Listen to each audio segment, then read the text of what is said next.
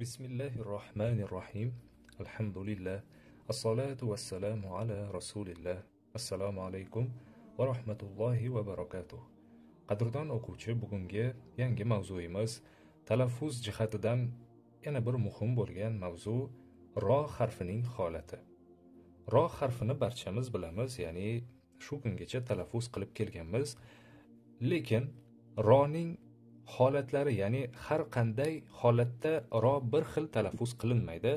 Ana shu haqida bugun gaplashgan bo'lamiz inshaalloh.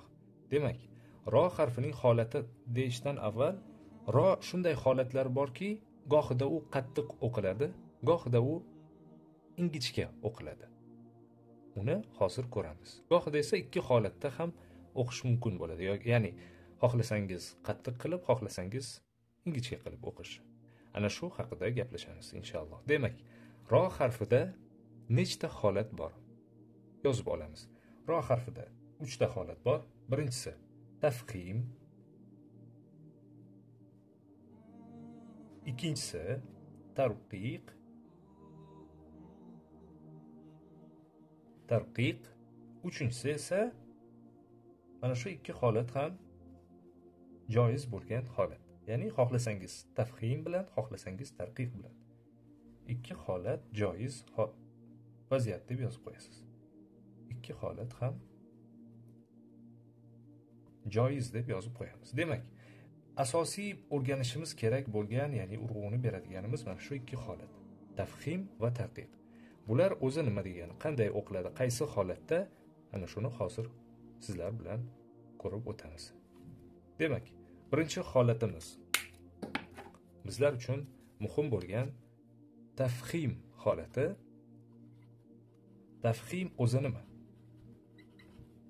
Tafhim bu mazmunan yo'g'on qilib o'qish demak ya'ni tafhimning ma'nosi roning yo'g'on bo'lib o'qilishi. Ro harfini ham yozib qo'yamiz maqsadga muvofiq. Roning demak tafhim qilib o'qilishi yo'g'on deb o'zingizga yozib qo'yasiz yo'g'on ekan yo'g'on qanday bo'lishini hozir ko'ramiz. Demak sakkiz holatda ro yo'g'on qilib o'qilar ekan. Ana shu holatlarni ko'rayotganda aslida yo'g'on qanday ekanligini hozir ko'rib o'tamiz inshaalloh. Demak birinchi holatimiz roning yo'g'on bo'lib o'qilishi ya'ni tafhim bilan o'qilishi bo'yicha birinchi holat. Agarda biror bir jumlada roning o'zi bomma bilan kelsa ya'ni ro o'zi nima bilan kelar ekan yozib qo'yasiz. Ya'ni ru ru ru deb o'qiymiz ya'ni r r harfini yo'g'on qilib o'qiymiz. Ko'pchilikda savol tug'iladi. Bu doimiy tug'ilib kelgan savol. Men shundoq ham yo'g'on qilib o'qiymiz bu narsani. Tabiiy chiqadi yo'g'onligi desangiz siz baribir bilishingiz kerak hozir dars mobaynida tushunib olasiz. Gohida ba'zi holatlarda ikkilanib qolasiz. Ya'ni men yo'g'on qilib o'qiymanmi yoki ingichka qilib? Ya'ni qarang ru deganda men yo'g'on o'qiyapman ri deganda mana ri ri. Misol uchun aytdik mana ri deganda men ingichka qilib o'qiyman. Ri. Buni hozir tarqihda ko'ramiz shunchaki farqlash uchun aytyapman. Ru. Qandayu? Ri qanday? Ri. Ri. Ri. Ri. Ru ro qandayu ri ir qandayu aru qanday? Aru aru aru. Yoki ingichka qilsam ir ir ir bo'ldi. Mana shuni farqlay olish juda ham muhim talaffuzda ham. Chunki bu ana endi nozik jihatlarga e'tibor bergan bo'lsangiz kirib boryapmiz sekinlik bilan. Lekin qiyin emas muhimi tushunib olishingiz avvalo ana keyin uni amalda qo'llashingiz. Demak yo'g'onni tushundik biz yo'g'on qilib talaffuz qilishimiz ana shunday ru ro aru ur mana shunday ekan. Ingichkasi esa ri ir fir shunga o'xshash ya'ni ingichka buni ko'proq eshitish orqali. Tushundik eshitish orqali. Aru deganda tilning orqa tarafi biroz orqada bo'ladi. Aru aru biroz orqaga tashlaydi til o'zini. Aru aru id id esa til yotadi. Ingichkada til qandaydir pasayish orqali hosil bo'ladi bu tovush. Ya'ni ingichka qilib o'qigan. Ir ir. Yo'g'onda esa aru ru ro. Ingichkada ri. O'ylaymanki biroz yangi tushuncha bo'lsa-da, lekin qilish o'ta murakkab bo'lgan holat emas. Ko'proq eshitish orqali yana aytaman, eshitish orqaligina va mashq qilish orqaligina albatta sizda ham bu narsa kashf etiladi inshaalloh. Demak, birinchi holatimiz ko'rdik. Ya'ni qachon yo'g'on qilib o'qiymiz, birinchi holatimiz ro harfi nima bilan kelsa ekan? Bomma bilan u bilan kelsa, u harakati bilan ru deb o'qiymiz. Ikkinchi holat, agarda ro kelsa ekan fatha bilan. Mana shu ikki harakatni yodingizda tuting. Fatha va bomma. Mana shu ikkisi ko'proq bog'liq roning yo'g'on, ya'ni tafhimli holati bilan mana shu ikki harakat u va a bog'liq. i esa ko'proq nima bilan bog'liq? Tarqiq bilan bog'liq. Hozir ko'rib o'tganimiz kabi uni hali yana ko'ramiz. Demak, birinchi holatni ko'rdik, ikkinchi holat, ya'ni oddiy, shunchaki ro bilan keldimi, ya'ni fatha bilan keldimi, siz nima qilib o'qiysiz? Qattiq qilib o'qiysiz. Misol uchun ar-ro, ar-rohman, ar-rohman. Shundiga arro arro arro ro deyapman. arroh arroh arro demayapman, ya'ni inglizcha qilib ar arrah arrah demayapman. arro arru ar arrohman ar-rohman. Mana shu holatda demak ikkinchi holatimiz fatha bilan kelganda, ya'ni a bilan kelganda. Keyingi uchinchi holatimiz demak uchinchi holat ham bular bilan bog'liq, faqat bir narsa biroz e, chalg'imasligingiz kerak. Ro bu yerda sukunli bo'ladi, faqatgina o'zidan oldingi harfning harakati bommali bo'ladi. Shundiga misol uchun qur qurba mana mana qurba mana bu yer oxiri muhim emas. Biz uchun mana muhim yeri mana shu yerda ro o'zi sukunli bo'lyapti va undan oldingi harfning harakati nima bo'ldi? Bomma bo'lyapti. Qur qur deb qo'ymaysiz. Qur qurba qur qur qurba qurba bo'ldi mana shunday ehtiyot bo'lasiz. To'rtinchi holat ham xuddi shu holatga o'xshagan bo'ladi faqat dommaning o'rnida. Ana endi nima bo'ladi? Yashang. Fatha bo'ladi. Sukunli bo'ladi o'zi faqat o'zidan oldingi kelgan harfning harakati fatha bo'lar ekan. Shundiga bunga misol esa misol uchun mana xor xor dal xor dal mana xor xor xor dal shundiga xor dal. Xor xor dal demayapman. Xor xor ingichka bo'lib qolmayapti. U aslida savol tug'ilishi boshida aytganimizdek tabiiy chiqadi-ku dedik-ku. Tabiiy chiqadi lekin baribir biz mana shu holatlarni bilishimiz kerak. Bilasizmi nega? Aslida mana shu yerda to'g'ri aytasiz ko'pchilikda tabiiy holatda yo'g'on chiqishi mumkin. Lekin hammada emas. To'g'ri balkim ko'pchilikda. Lekin biz uchun nima uchun yo'g'onni ya'ni tafhimli holatlarni birma bir bilib olishimiz kerak? Sababi biz tarqiq holatini tafhimga almashtirib o'qishdan qochish uchun bularni ham bilib olishimiz kerak. Sababi qattiq o'qish oson bo'lishi mumkin. Sababi siz ko'proq qattiq holatini ya'ni yo'g'on holatini ishlatib o'rgangan bo'lishingiz mumkin. Tarqiqda esa siz ajratib olishingiz uchun ham bu holatlar kerak.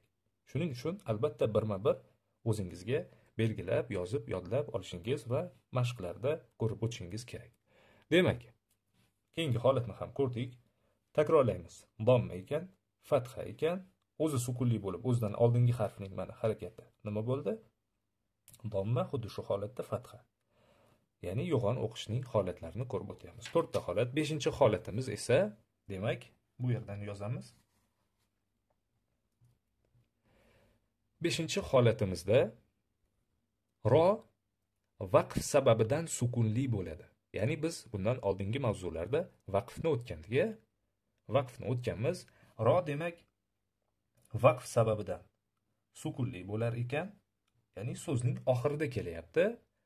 Undan oldingi harf ham sukunli bo'lib qolsin. Misol uchun hozir misolda ham ko'ramiz. Va ana undan oldingi harf esa endi nima bo'ladi? Bommali bo'ladi. Bunga misol qilib keltiradigan so'zimiz mana shu. Hus rin aslida lekin vaqf sababidan nima bo'ladi bu? Ya'ni tugashi. To'xtash yerimizda. Mana bu holat sukun bilan tugashini biz o'tgan darslarda aytib o'tgandik ko'rib o'tgandik. Mana bu yerda o'zi sukun bilan vaqf vaqf sababli sukun bilan tugayapti. Undan oldingi harfning harakati ham sukun. Ana undan oldingisi esa nima? Mana yana biz bilgan qaysi harf ya'ni qaysi harakat? Bomma. Husr husr husr husr bo'lib qolmasin. Husr husr ko'rdingizmi husr rur deb tugayapmiz. Husr r bo'lib tugasa ingichka bo'lsa mana bu ham bir xatoyimiz bo'ladi. Ya'ni tarqiqni tafhimdan ajrata olmaslik holati bo'lib qoladi. Demak beshinchi holatni yozib oldik. Oltinchi holatimiz xuddi mana shu holat ya'ni vaqf sababidan sukunli bo'ladi o'zidan oldingi harf ham sukunli bo'ladi. Ana undan avvalgi harf esa fathali bo'ladi. Demak mana shunday shunday bu esa nima bo'lyapti? Fatha xuddi shuni faqat fathali varianti ko'rganingizdek juftliklar. Domma fatha domma fatha domma fatha ya'ni yodlab olishga ham juda qulay. Misol uchun aytadigan bo'lsak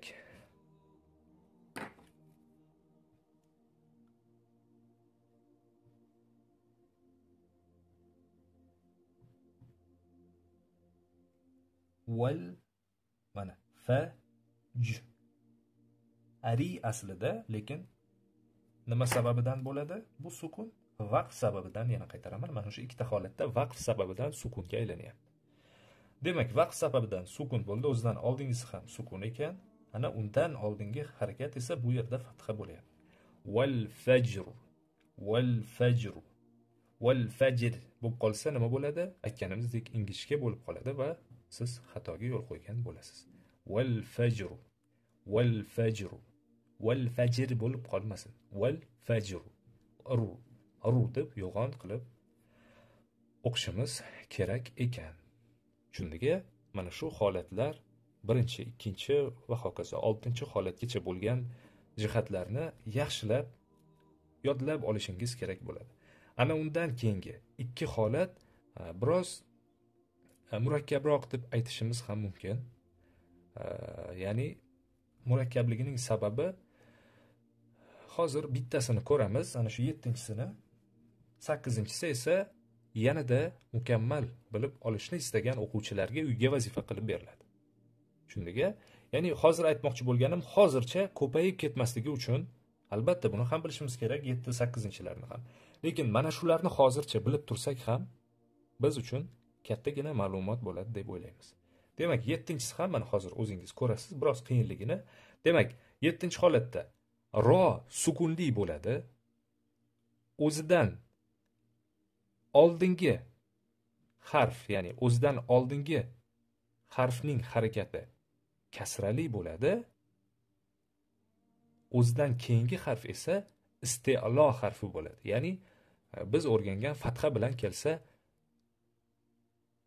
aimiz oy bo'lib ketadigan qof ro sod to kabi harflar bo'lishi kerak. Misol uchun aytaman mana keling misolni o'zida ko'ramiz. Hozir chunki yozib tushuntirganda biroz qiynalishingiz mumkin. Misoli demak fi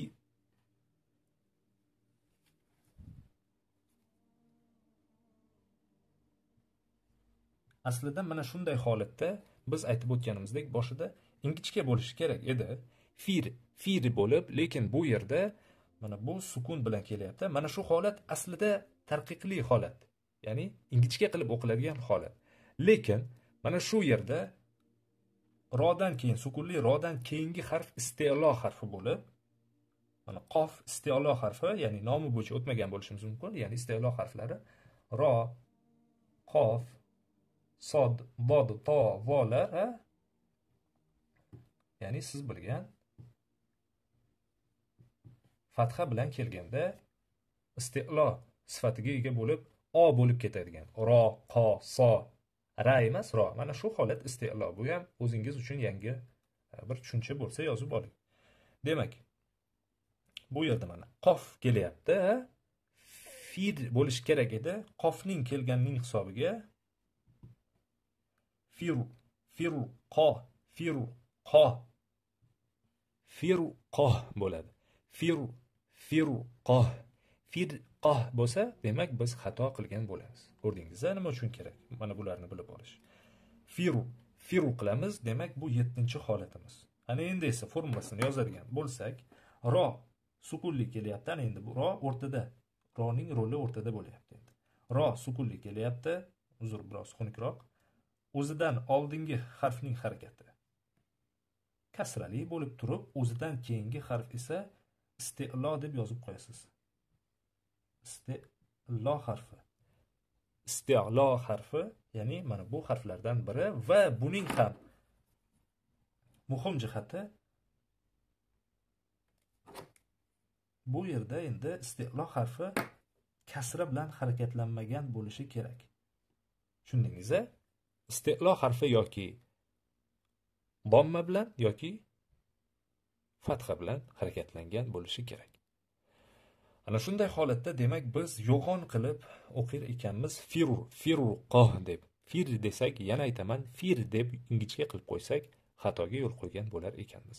Demak yozib olamiz har bir holatga kamida ikkitadan misol topish siz uchun vazifa bo'ladi va chuqurroq o'rganmoqchi bo'lgan o'quvchilarimizga esa sakkizinchi holatni mustaqil ravishda topish va albatta tushungan holatda unga ham vazifalar qilish qo'shimcha bir topshiriq bo'ladi. Demak bularni yozib olamiz va ikkinchi holatga tarqiq holatiga o'tamiz. Demak ikkinchi holatimiz tarqiqli holat ya'ni tarqiqning mazmuni bizda nima ekan? Tarqiq deganda siz ingichkani tushunishingiz kerak ekan. Ingichka qilib o'qish. Uzr so'rayman. Ingichka. Demak mazmunni bildik. O'qishni esa tafhimni ko'rib chiqayotganda taxminan bilib oldik. Ya'ni ingichka qilib ir ir aru yo'g'on bo'lsa ingichkasi ir ir degandagi roning ingichka qilib talaffuz qilinishi ekan. Demak qaysi holatlarda tarqiq ya'ni ingichka holatda o'qiladi? Ro. Birinchi holat. Birinchi holatimiz boshida aytib o'tganimizdek agar ro nima bilan bo'lsa qaysi harakat bilan bo'lsa roning o'zi kasra bilan harakatlangan bo'lsa. Ya'ni ri ri deb o'qiymiz. Har qaysi holatda mana o'zi nima bilan kelyapti? Kasra bilan kelyapti. Biz uni ingichka qilib ri deymiz. Ri ri desangiz mana qo'pol xato bo'ladi. Biz taqiq qilishni o'rniga tafhim qilsak ri ri bo'ladi. Ro ru degandagi yo'g'onni biz iga ishlatmoqchi. Aslida qiyin ishlatish lekin e, gohida mana shu holatda lekin ishlatib qo'yish hech gap emas.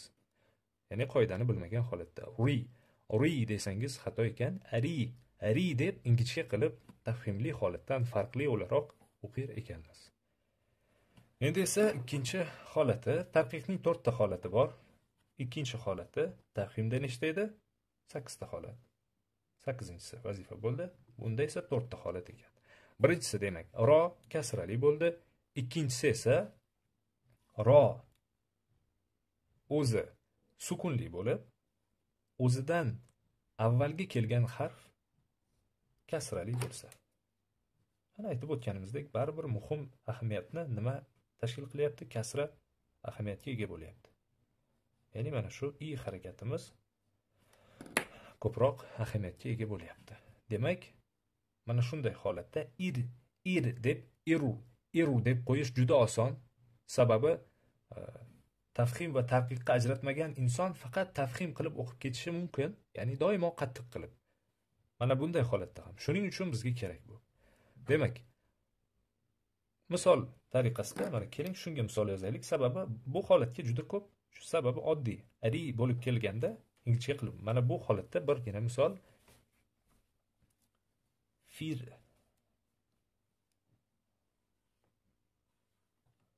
mana demak er fir au.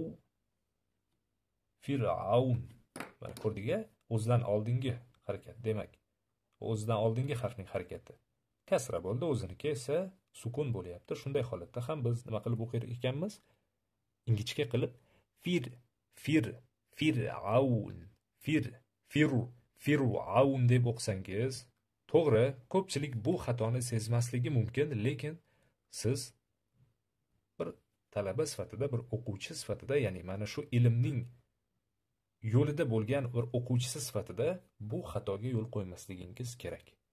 Sababi buni endi ustozlar eshitganda farqlab oladi va xato ekanligini ya'ni ahli ilmlar bu xatoingizni sezib olishi mumkin. Va hech kim sezmagan holatda ham qoida bo'lgani uchun ya'ni tajvidning bir qoidasi o'laroq siz o'zingiz uchun ham to'g'ri o'qishingiz kerak. Demak ikkinchi holatni ham ko'rdik. Uchinchi holat. Demak ko'rdingiz a asosan nimaga bog'liq bo'lib kelyapti bizda? Kasraga bog'liq bo'lib kelyapti. Demak uchinchi holatimiz o'zi vaqf nuqtai nazaridan tafhimda ham ko'rdik. Vaqf nuqtai nazaridan o'zi sukunli bo'ladi. Aslida boshqa biror vaqfning oxirgi qoidasi bo'yicha bu esimizda. Vaqf sababidan sukun bo'ldi o'zi. O'zidan oldingi ham sukun va ana undan o'zidan oldingi harf harfning harakati sukun undan oldingi yana bir oldingi harfning harakati esa yana ana shu kasra bo'lyapti. Bunga bir misol sifatida mana shu so'z. Hi hij hija rin aslida ha? Hijr deb qo'ysangiz hijr deb qo'ysangiz nima bo'ladi? Xato bo'ladi. Sababi biz bu yerda uchinchi qoidaga muvofiq tarqiq ingichka qilib hijr hijr hijr deb ingichka qilib o'qiymiz. Hijr hijr desangiz nima bo'ladi? Yo'g'on bo'lib xatoga yo'l qo'ygan bo'lasiz. To'rtinchi xato to'rtinchi qoidamiz. Uzr. To'rtinchi qoidamiz esa. Demak ro harfi vaqf sababidan yana sukunli bo'lyapti va ro mana hozir vaqf sababidan sukunli bo'lyapti. O'zidan oldingi harf esa o'zidan oldingi harf yoki cho'ziq i bo'ladi. Ya'ni siz bilgan mana shunday bo'ladida cho'ziq i bo'lyapti. Bunga misol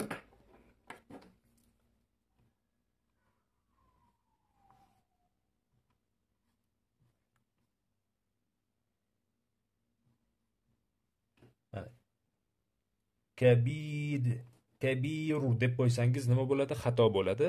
Sababi bu ham qaysi qoida ekan? Tarqiqli ingichka qilib o'qish shuning uchun biz mana ahamiyat beramiz.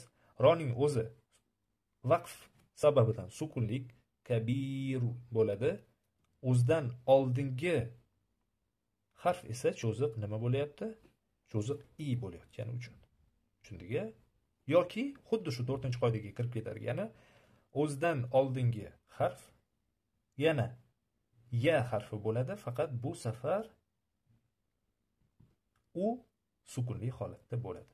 Misol uchun hoy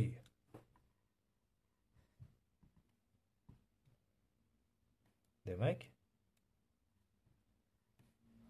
bu ham bu yerda ham vaqf uchun vaqf bo'lgani sababidan sukunlaymiz roni. O'zidan oldingi harf esa bu safar nima bo'lyapti? Cho'ziq i emas yaning o'zi sukunlanyapti. Xoyir xoyir xoyru desangiz demak xoyru desangiz xato bo'lar ekan yo'g'on qilib qo'yganimiz uchun. Tarqiqli qilib xoyir xoyir deb o'qiymiz. Va mana bu yerda biroz ushlab turganimni hali keyingi darslarda to'xtalib o'tamiz. Ya'ni xoyir demayapman. Xoy birdaniga o'tib ketmayapman. Bu yerda biroz to'xtalish bo'lyapti. Hoy deb nima qilyapman yani ushlab turibman. Mana shu holatni hali ko'ramiz inshaalloh. Ya'ni vav va yada uchraydigan alohida bir holatlar. Demak e, to'rtta holatni ko'rdik. Ingichka qilib o'qish bo'yicha yo'g'on qilib o'qishni ham ko'rib o'tdik. Yettita asosiy qoidasini. Endi esa yozib olasiz va har biriga har doimgidek kamida ikkitadan misol topgan holatda vazifani bajarasiz va oxirgi ikki holat ham joiz bo'lgan ya'ni yoki tafhimli yoki tarqiqli o'qishimiz mumkin bo'lgan holatni endi ko'rib o'tamiz. Demak oxirgi holatimiz ikki holat ham ya'ni yoki tafhimda o'qishingiz mumkin xohlasangiz tarqiq orqali o'qishingiz ya'ni ikki holat ham joiz bo'lgan qoidalarimiz bu ikki holat mavjud ekan bunday holatlardan ikkita bor ekan. Birinchisi demak qanday holatda yo tafhim yo tarqiq o'qishimiz mumkin? Shuning birinchisi agarda ro kasradan keyin kelgan ro kasradan keyin kelgan ro sukunli bo'lib undan keyingi kasra undan keyingi kelayotgan harf kasrali iste'lo harfi bo'lsa. Hozir mana shuni ko'ramiz. Bu nima degani? Esingizda bo'lsa tafhimda ko'rdik. O'zi o'rtada turibdi ya'ni o'zining vazifasi o'rtada edi. Undan oldingi kelgan harfning harakati ya'ni o'zidan oldingi harfning harakati kasra bo'lyapti undan keyin sukun bilan ro kelyapti va undan keyingi harf iste'lo harfi iste'lo harfi ya'ni mana bu yerda ko'rgan haligi harflarimiz. Bu iste'lo bu safar nima bilan kelar ekan? Biz aynan shuni esingizda bo'lsa o'chirib qo'ygandik. Ya'ni bizda tafhim qilishimiz uchun mana shu yerda mana shu qoida tafhim bo'lib ketishi uchun nima qilishimiz kerak edi? Yoki fatha yoki dommani ko'rgan. Va bu esa ana endi ikki holat ham joiz bo'lgani uchun misol tariqasida keltirishimiz mumkin. Ya'ni bu yerda aslida fir fir deyishingiz mumkin lekin mana bu yerda iste'lo harfi kelyapti. Qof qo bo'lgani uchun qof iste'lo harfining biri. Ana shu harf o'zining harakati nima bilan kasra bilan harakatlangani uchun. Fir qin deyishingiz mumkin firu qin deyishingiz ham mumkin ekan. Ya'ni ikki holatda ham o'qish. Yana aytamiz bu holatni hozir tushunmagan bo'lsangiz hech qisi yo'q. Sababi bilasizmi nega? Siz ingichka qilib o'qib qo'ysangiz ham yo'g'on qilib o'qib qo'ysangiz ham siz uchun bu holat to'g'ri bo'ladi. Shuning uchun aytdim ikki holat mana shu ikkita tafhim va tarqiq eng muhimi. Shu ikkisini ajratsangiz bo'ldi. Uchinchi holat siz hech qachon xato qila olmaysiz. Sababi yoki inglichka qilib o'qiysiz yoki qattiq qilib o'qiysiz. Boshqa holatning o'zi yo'q bo'lgani uchun doim siz buni to'g'ri o'qiysiz. Bu esa ma'lumot sifatida. Tushundik demak ro sukunli undan oldingi harf kasra undan oldingi harf esa iste'lo harfi va kasra bilan harakatlangan. Agar bu fatha yoki domma bilan harakatlangan iste'lo harfi bo'lsa biz uni albatta tafhim qilib o'qishimiz kerak edi. Demak birinchi holatimiz shu ekan. Yozib olamiz. Ikkinchi holatimiz qanday? Demak ikkinchi holatimiz ro e, oxirida keldi. Ko'rib o'tgan qoidalarimizda ham e, bu holat bor edi. Ya'ni shunga o'xshash holat ro vaqf sababli nima bo'ldi? To'xtalish bo'ldi. Roni vaqf sababidan biz to'xtatdik. O'rtada esa sukun bor edi. Undan avvalgi esa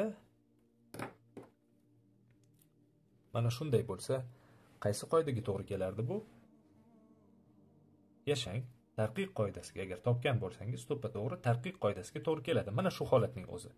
Lekin mana shu yerda o'rtadagi harf mana shu harf istiqlo bo'lsa endi mana bu safar istiqlo o'rtada bo'lyapti va sukun bilan kelyapti. Ro esa vaqf sababidan sukunlandi. Bunga misol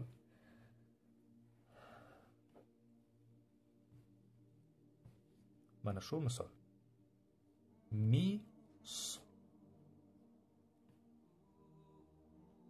uzr so'rayman misro edi adashmasam misro ya'ni biz esa buni vaqf nuqtai nazaridan sukunlaymiz ya'ni misr misr Misr, misr yoki misr yoki misr misr ya'ni ikki holatda yoki tafhim yoki tarqiq yana aytamiz o'zi roning o'zi. Vaqf sababidan sukunlandi undan oldingi harf esa istelo harfi va unda ham sukun undan avval esa qanday harakat? Kasra. Agar mana shu yerda istelo harfi bo'lmaganda edi biz buni tadqiq qilib o'qir edik. Mana bu yerda istelo bo'lib qolgani uchun yo xohlasangiz tafhim yoki tadqiq bilan o'qir ekansiz. O'ylaymizki bu ham tushunarli bo'ldi. Albatta biroz bugunga ko'proq ma'lumotlarni ya'ni aslida ko'p ham emas biroz nozikroq jihatlarni ko'rganimiz uchun sizga qiyinchilik bo'lishi mumkin. Lekin agarda tushunishingiz qiyin bo'lgan bo'lsa yana harakat qiling darsni ko'rishga va yana aytamiz eng muhimi mana shu ikki jihat edi. Sababi uchinchi jihatda siz nima qilishingiz mumkin? Xato qilishingiz mumkin emas. Chunki uchinchi holat mana shu ikkita qoidada yo tafhim qilib o'qiysiz yo tarqiq demak birorta holatda adashmas ekansiz. Bu faqat ma'lumot uchun. Birinchi va ikkinchini esa ajratish eng muhim jihatlari yuqorida aytib o'tganimizdek. Demak tafhim asosan fatha va bomma bilan bog'liq bo'lsa ha? Fatha va bomma tarqiq esa kasra bilan bog'liq bo'lyapti. Hech bo'lmasa shuni bilib olsangiz ham sekinlik bilan E, eshitib borayotganingizda tushunib borasiz. Va albatta o'qilishini ham. Yo'g'onligi. Ro ru ir ari ari ro ari ro ru. Mana shu holatni hech bo'lmasa bilib oling. Mana shu mavzudan qurib chiqib ketmagan bo'lasiz inshaalloh demak e, bunga ham kamida bir hech bo'lmasa bir donadan misol topa olsangiz o'zingizga foyda inshaalloh vazifalarni qilishingizda kuch quvvat tilab qolamiz. Alloh ilmingizni ziyoda qilsin. Allohga omonatsiz. Vassalomu alaykum va rahmatullohi va